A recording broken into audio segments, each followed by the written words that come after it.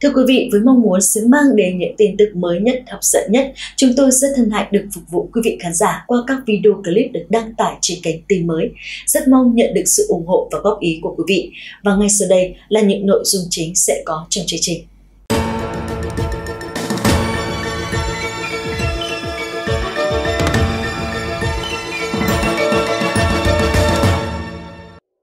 Thưa quý vị, trong phần đầu của bản tin hôm nay sẽ là phần tin dự báo mưa lớn ở khu vực Tây Nguyên và Nam Bộ, tin mưa rông và cảnh báo mưa lớn cục bộ, lốc xét, mưa đá, gió giật mạnh ở khu vực Nam Trung Bộ từ 19 giờ ngày hôm qua đến 15 giờ hôm nay. Khu vực Nam Trung Bộ, Tây Nguyên và Nam Bộ đã có mưa vừa và có rông. Cục bộ có mưa to đến rất to, một số nơi có lượng mưa to trên 70 mm như là ở Phan Lâm, Bình Thuận là 109,4 mm,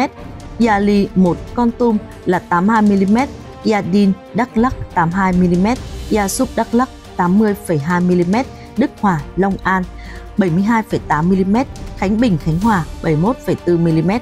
Dự báo diễn biến trong 24 đến 48 giờ tới từ khoảng chiều nay cho đến ngày mai ở khu vực Tây Nguyên và Nam Bộ tiếp tục có mưa vừa, mưa to, có nơi mưa rất to và rải rác có rông, với lượng mưa phổ biến từ 60 đến 120 mm một đợt, có nơi trên 150 mm trên một đợt. Ngoài ra từ chiều hôm nay cho đến ngày mai, ở khu vực Nam Trung Bộ sẽ có mưa vừa và có rông, cục bộ có mưa to đến rất to với lượng mưa phổ biến từ 20 đến 40 mm trên 24 giờ, có nơi trên 80 mm trên 24 giờ. Cảnh báo mưa rông diện rộng và mưa lớn cục bộ ở khu vực Nam Trung Bộ, Tây Nguyên và Nam Bộ còn có khả năng kéo dài trong nhiều ngày tiếp theo nguy cơ cao xảy ra lũ quét sạt lở đất ở các khu vực vùng núi và ngập úng ở các vùng trũng và thấp trong mưa rông có khả năng xảy ra lốc xét, mưa đá và gió giật mạnh. Tiếp theo sẽ là phần cập nhật chi tiết về siêu bão Mawa ở trên biển Tây Thái Bình Dương và khả năng ảnh hưởng của nó đến Biển Đông. Thưa các bạn, chiều nay siêu bão Mawa nằm ở vị trí có tọa độ là khoảng 16,6 độ Vĩ Bắc, 132,2 độ Kinh Đông, cách đảo Luzon của Philippines khoảng 1.000 km về phía đông. Sức gió mạnh nhất vùng gần tâm bão mạnh cấp 16, tức là 195 km h Gió giật lên tới là 240 km h tức là trên cấp 17. Bán kính vùng gió mạnh khoảng 570 km tính từ tâm của bão. Theo Cục Quản lý Thiên văn, Địa vật lý và Khí quyển Philippines Pagasa dự báo, trong khoảng 24 giờ tới, siêu bão Mawa sẽ di chuyển theo hướng Tây Bắc với tốc độ là khoảng 25 km một giờ, hướng về vùng biển phía Bắc đảo Luzon, sau đó có thể sẽ đổi hướng di chuyển theo hướng Đông Bắc. Siêu bão Mawa có thể sẽ duy trì cường độ siêu bão trong khoảng từ 36 đến 48 giờ tới và cũng không loại trừ khả năng siêu bão có thể mạnh lên trong khoảng từ 12 đến 24 giờ tới. Từ đầu tuần này, siêu bão sẽ có thể suy yếu nhanh do tương tác với khối khí khô và vùng nước biển mát hơn, Pagasa nhận định. Còn cơ quan khí tượng Nhật Bản GMA cho biết, lúc sáng nay sức gió mạnh nhất ở vùng gần tâm bão mạnh là 50 m trên giây, tương đương cấp 15, giật 70 m trên giây, tức là trên cấp 17. Đài khí tượng của Nhật dự báo trong khoảng 3 ngày tới, bão Mawa di chuyển theo hướng Tây rồi Tây Bắc với tốc độ từ 20 đến 30 km một giờ, cường độ giữ nguyên cấp 15, giật cấp 17. Từ khoảng ngày mai cho đến ngày kia, bão Mawa sẽ di chuyển chậm lại, khả năng đổi hướng đi lên phía Bắc rồi Đông Bắc, cường độ suy yếu dần xuống cấp 12, cấp 13, giật cấp 15. Còn theo Trung tâm Cảnh báo bão Liên hợp GTVC của Mỹ, siêu bão Mawa đang ở cấp 5, cấp gây ra thảm họa trên diện rộng với sức gió trên 252 km h Sáng nay, sức gió ở vùng gần tâm bão Mawa mạnh 268 km h Đài của Mỹ cho biết bão Mawa đã tăng cường sức mạnh lên mức là siêu bão ngang cấp độ 5 của bão ở Đại Tây Dương khi di chuyển về phía Philippines. Siêu bão này có thể sẽ mạnh hơn nữa và dự kiến đổ bộ Philippines, Nhật Bản và Đài Loan bắt đầu từ khoảng ngày hôm nay với lượng mưa lớn hơn và gió mạnh. Sau đó, Mawa có thể duy trì hoặc giảm nhẹ sức gió khi bắt đầu đổ bộ trở lại đất liền. Dự kiến sẽ mang theo mưa lớn và gió mạnh đến phía bắc đảo Luzon, Philippines từ tối ngày hôm nay và cho đến ngày kia theo giờ địa phương. Hiện tại, cơ quan khí tượng thủy văn Việt Nam cũng đang theo dõi sát diễn biến của siêu bão Mawa. Mawa là cơn bão thứ hai hoạt động trên khu vực Tây Thái Bình Dương trong mùa bão năm nay. Theo các chuyên gia, việc siêu bão xuất hiện ngay từ đầu mùa cho thấy mùa bão năm nay có thể sẽ bất thường và trái quy luật. Trung tâm Dự báo Khí tượng Thủy văn Quốc gia cho biết, những năm có El Nino chi phối như năm nay, số lượng cơn bão thường ít hơn trung bình nhiều năm. Theo thống kê, trung bình mỗi năm có từ 5 đến 7 cơn bão và áp thấp nhiệt đới ảnh hưởng đến nước ta. Trung bình mỗi tháng có khoảng 0,58 cơn trong những năm El Nino, trung bình mỗi tháng có 0,42 cơn, ít hơn trung bình nhiều năm khoảng 28%. Ngoài ra, trong điều kiện El Nino, bão áp thấp nhiệt đới thường tập trung vào giữa mùa bão, tức là khoảng tháng 7, tháng 8 và tháng 9. Tuy nhiên, đáng lưu ý là trong những năm El Nino thường hay xuất hiện những cơn bão dị thường, phức tạp và trái quy luật, điển hình như là năm 2009, cơn bão số 9 Kesana, rất mạnh đi vào địa phận các tỉnh Quảng Nam, Quảng Ngãi, gây ra đợt lũ lịch sử vào cuối tháng 9.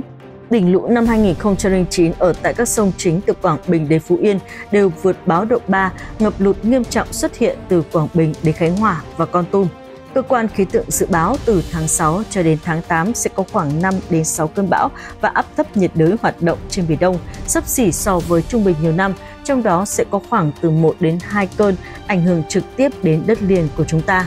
Từ khoảng tháng 9 đến tháng 11, số lượng bão áp thấp nhiệt đới trên khu vực Biển Đông dự báo sẽ là khoảng từ 4 đến 5 cơn, mức sấp xỉ đến thấp hơn so với trung bình nhiều năm cùng thời kỳ và tác động chủ yếu đến khu vực Trung Bộ đề phòng những cơn bão có diễn biến phức tạp cả về quỹ đạo cũng như cường độ. Trước đó vào đầu tháng 5 năm nay, ở trên Biển Đông đã xuất hiện áp thấp nhiệt đới đầu tiên của mùa bão năm nay. Tiếp theo sẽ là tin cảnh báo gió mạnh, sóng lớn và cảnh báo mưa rông, lốc xoáy, gió giật mạnh ở trên biển. Hiện nay, mây rông đang phát triển ở trên khu vực từ Bình Định chuyển đến Cà Mau, từ Cà Mau đến Kiên Giang, Vịnh Thái Lan, khu vực giữa và Nam Biển Đông, bao gồm cả vùng biển quần đảo Trường Sa, ở vùng biển từ Bình Thuận đến Cà Mau có gió Tây Nam mạnh cấp 5, có lúc cấp 6, giật cấp 8. Dự báo trong đêm nay và ngày mai, ở khu vực từ Bình Định cho đến Cà Mau, từ Cà Mau đến Kiên Giang, Vịnh Thái Lan, khu vực giữa và Nam Biển Đông bao gồm có vùng biển quần đảo Trường Sa sẽ có mưa rào và rông mạnh. Trong mưa rông có khả năng xảy ra lốc xét, gió giật mạnh.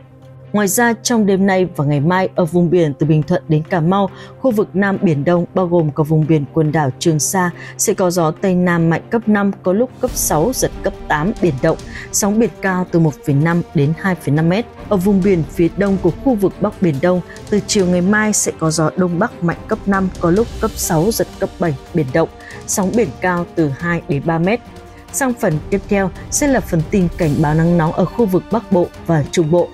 Do ảnh hưởng của rìa đông nam của vùng thấp nóng phía Tây kết hợp với gió Tây Nam gây hiệu ứng phơn, cho nên từ khoảng ngày mai, ở khu vực Tây Bắc Bắc Bộ và vùng núi phía Tây của khu vực Bắc và Trung Trung Bộ có khả năng xảy ra một đợt nắng nóng mới với nhiệt độ cao nhất sẽ phổ biến từ 35 đến 36 độ, có nơi trên 36 độ. Từ ngày kia, ở Bắc Bộ có khả năng sẽ xảy ra nắng nóng diện rộng với nhiệt độ cao nhất sẽ phổ biến từ 35 đến 36 độ. Riêng khu vực Tây Bắc Bắc Bộ sẽ có nắng nóng và nắng nóng gay gắt với nhiệt độ cao nhất từ 35 đến 37 độ, có nơi trên 38 độ. Từ khoảng ngày kia cho đến tuần đầu của tháng 6, ở khu vực Bắc và Trung Trung Bộ sẽ có nắng nóng và nắng nóng gay gắt với nhiệt độ cao nhất phổ biến từ khoảng 36 đến 38 độ, có nơi trên 39 độ. Tiếp theo sẽ là phần dự báo thời tiết chi tiết các khu vực trên cả nước trong đêm nay và ngày mai. Dự báo thời tiết hôm nay tại các địa phương trên cả nước. Thời tiết hôm nay tại khu vực Hà Nội, theo Trung tâm Dự báo Khí tượng Thủy văn Quốc gia, ngày hôm nay thời tiết Hà Nội có mây, đêm có mưa rào và rông vài nơi, ngày nắng, trong mưa rông có khả năng xảy ra lốc, xét, mưa đá và gió giật mạnh. Nhiệt độ thấp nhất từ 26 đến 28 độ, nhiệt độ cao nhất từ 33 đến 35 độ. Dự báo thời tiết thành phố Hồ Chí Minh hôm nay, Đài khí tượng thủy văn khu vực Nam Bộ cho biết, ngày hôm nay thời tiết thành phố Hồ Chí Minh có mây, có mưa rào và rông xảy ra trên diện rộng, rải rác có mưa vừa, có nơi mưa to đến rất to. Trong mưa rông có khả năng xảy ra lốc, xét, mưa đá và gió giật mạnh. Nhiệt độ thấp nhất từ 24 đến 25 độ, nhiệt độ cao nhất từ 30 đến 31 độ. Phía Tây Bắc Bộ có mây, chiều tối mưa rào và rông rải rác, ngày nắng, có nơi có nắng nóng, trong mưa rông có khả năng xảy ra lốc, xét, mưa đá và gió giật mạnh. Nhiệt độ thấp nhất từ 23 đến 27 độ, cao nhất từ 32 đến 35 độ C. Phía đông bắc bộ có mây, đêm mưa rào rải rác và có nơi có rông, ngày nắng nóng. Trong mưa rông có khả năng xảy ra lốc, xét, mưa đá và gió giật mạnh. Nhiệt độ thấp nhất từ 25 đến 28 độ C, cao nhất từ 32 đến 35 độ C. Thanh Hóa, Thừa Thiên Huế có mây, đêm mưa rào và rông vài nơi, ngày nắng, có nơi có nắng nóng, trong mưa rông có khả năng xảy ra lốc, xét, mưa đá và gió giật mạnh. Nhiệt độ thấp nhất từ 24 đến 27 độ C, cao nhất từ 32 đến 35 độ C. Đà Nẵng đến Bình Thuận, phía Bắc có mây, đêm mưa rào và rông vài nơi, ngày nắng, có nơi có nắng nóng, phía Nam nhiều mây, mưa vừa và rông, vài nơi mưa to đến rất to, trong mưa rông có khả năng xảy ra lốc, xét, mưa đá và gió giật mạnh. Nhiệt độ thấp nhất từ 24 đến 27 độ C, cao nhất từ 31 đến 35 độ C. Tây Nguyên nhiều mây, có mưa vừa, mưa to, có nơi mưa rất to và rải rác có rông. Trong mưa rông có khả năng xảy ra lốc, xét, mưa đá và gió giật mạnh. Nhiệt độ thấp nhất từ 20 đến 23 độ C, cao nhất từ 28 đến 31 độ C, có nơi trên 31 độ C. Nam Bộ nhiều mây, mưa vừa đến mưa to, có nơi mưa rất to và rải rác có rông. Trong mưa rông có khả năng xảy ra lốc, xét, mưa đá và gió giật mạnh. Nhiệt độ thấp nhất từ 23 đến 26 độ C,